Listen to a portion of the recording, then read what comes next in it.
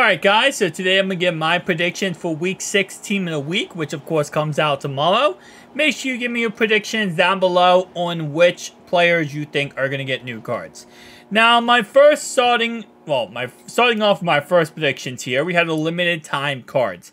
Now, these are 290 overalls, one offense, one defense. Now, my first limited time card, I think, to be honest, he deserves a card. He hasn't gotten a card honestly, I don't think at all this year. And he had a phenomenal freaking week.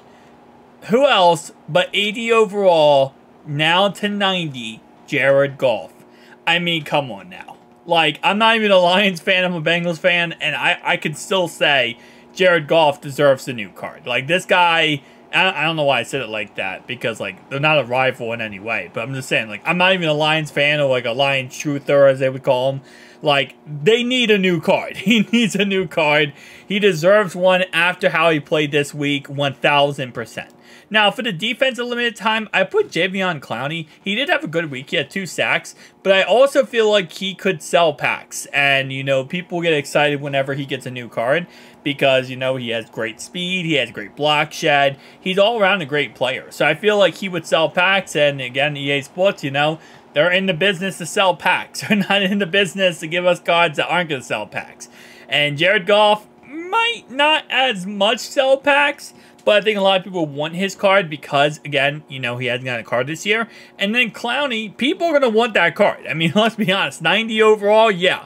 They're going to want that Clowney. So for the champion players this week, I have Amon-Ra St. Brown, who currently has an 84 overall base elite, and he played absolutely outside of his mind. Yeah, there's a reason why Jared Goff also played amazing, and a lot of the reasons why was because of his wide receiver, wide receiver, I'll say wide receiver, wide receiver Amon-Ra St. Brown. I mean, there's no reason why this man does not deserve a card. Now, keep in mind, if someone does not get a card this week, they could have a card planned for Most Fear Part 2, coming out on Thursday, so that might be why, or obviously other promos down the line.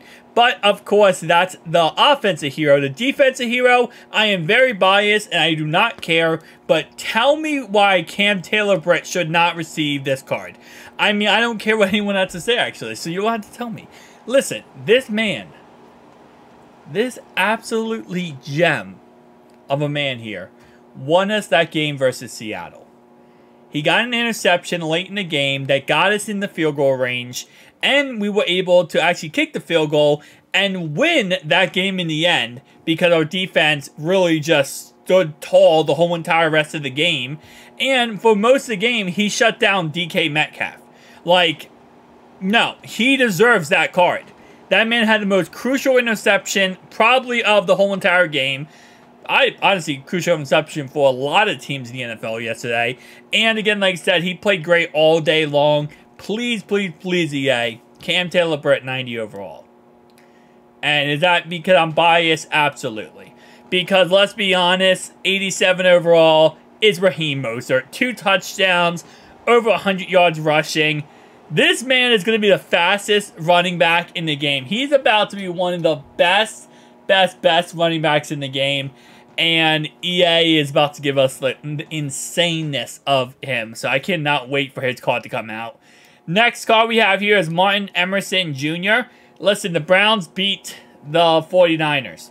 I know I'm so shocked myself. I still can't believe that actually happened. I don't know how it happened. I, I, I, I don't know. I can't even fathom it. Like, the 49ers was one team that I honestly thought could go undefeated like with how good they are on defense, they have obviously Christian McCaffrey, they have Deebo Samuel on offense. I was like, this team, there's no one who's going to beat them, right? Maybe down the line, they play the Eagles. That's a tough matchup. But for the most part, unless they lose to the Eagles, no one else is really going to beat this team. And then somehow, some way, yeah, the Browns do it. And now everyone's like, oh, the 49ers aren't even that good of a team anymore.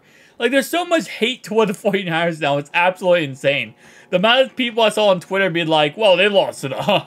If they lost to the Browns, clearly they're, you know, they were frauds.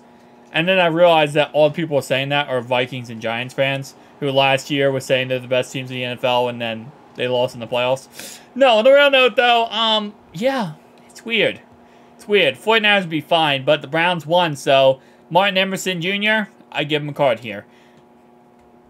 At what point are we going to give Kyren Williams a card? I mean, he did get a 79 overall Team of the Week card, but this guy is doing it every single week. Him and, and uh, Puka are just absolutely the next level rookies in the NFL. I mean, don't be wrong, there's a lot of good rookies in the NFL, but Puka and Kyren Williams, both on the same team, ironically enough, they're having they're having a fantastic rookie seasons. Even with Cooper Kupp back, Kyren Williams still went off last week and had a great day. I didn't check. Hold up. Did the Rams Rams won, right? Yeah, they beat the Cardinals. Yeah, exactly. There we go. Okay. I was kind of scared for a second because I thought they might not have beat the Cardinals. But, yeah, no, they destroyed the Cardinals. So, 100% he could get a card here. Thought for a second, I'm like, let me, let me make sure. Next guy we have here is Justin. Obviously, Ravens again, they just not uh, kind of didn't destroy the Titans. They played a very ugly game against the Titans, but they won. They beat the Titans, but they played an ugly game. So, it is what it is.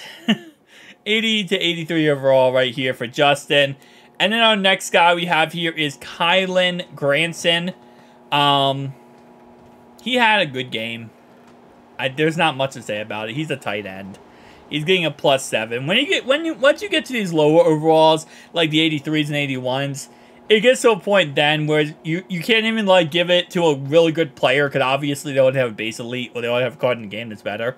So it's like you kind of just have to go down the list there and be like, um, okay, so this guy who had a pretty good day, but pretty much nobody knows his name. That's the guy who deserves the 83 and 81s, you know?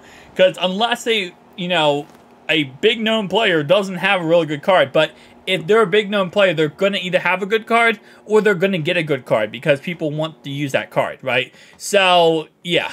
And then our last guy, Jordan Hicks for the Minnesota Vikings. He had another player who had a really good day yesterday. So that's kind of what I'm looking at, guys. So again, Jared Goff, Jadeveon Clowney, Amon-Ra St. Brown, Cam Taylor Britt, Raheem Mostert, Martin Emerson Jr., Kyren Williams, Justin, um, Kylen Granson, and Jordan Hicks. Tell me down below your thoughts, opinions, and which Team of the Week cards would you predict if you had to give your predictions. Because, I don't know. I don't know. I, I know there's going to be a Jared Goff card. If I get Jared Goff and Raheem Mostert correct this week, I'll be happy. I might also get Amon St. Brown correct. But other than that, Kyren Williams deserves a card, but I don't know if they're going to give it to him. And the other ones are shot in the dark. See you guys next one. Peace out.